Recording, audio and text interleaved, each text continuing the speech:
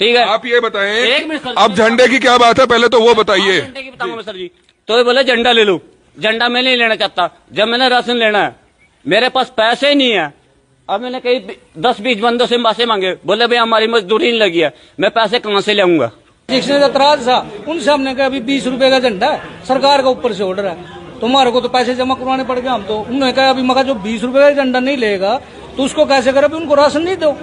उनको को सरकार के आदेश है साहब। हमारे इंस्पेक्टर साहब है जो ऊपर बैठे हमारे उन्होंने कहा कहा उन्होंने? उन्होंने कहा कि ये झंडा ज़रूरी है जो राशन ले रहे है उनके लिए झंडा ज़रूरी है बीस रूपए का झंडा। जो नहीं लेगा उसको नहीं मिलेगा राशन। हाँ उनको कह दो भी आपको राशन नहीं मिला झंडा ले लो।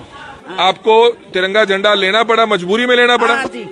चढ़वाए राशन कार्ड पर चढ़वा का गई। पूरे पूरे पीछे लेकर आए थे हम। 125 लेवाई यू हमारे राशन के।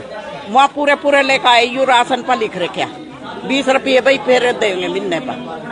मतलब बीस रुपए देने पड़ेंगे? हाँ देने पड़ेंगे। अरे इसका पाँच किलो आटा पाँच किलो राशन काट लिया जब मेरा झंडा दिया ही। पाँच किलो राशन काट दिया। अच्छा आपके पास बीस रुपए नहीं थे झंडे देने के? हाँ पीछे नहीं थे मेरे पास। ए ले ये झंडा दे दिया अभी पाँच किलो राशन काट दिया इसने। मैं गवर्नमेंट को ये कह रही हूँ जैसे झंडे के लिए अब घर घर में ऐलान कर रहे हैं रोज़गार के लिए आप ऐलान करें ना कोई भी बेरोजगार रहेगा ही नहीं।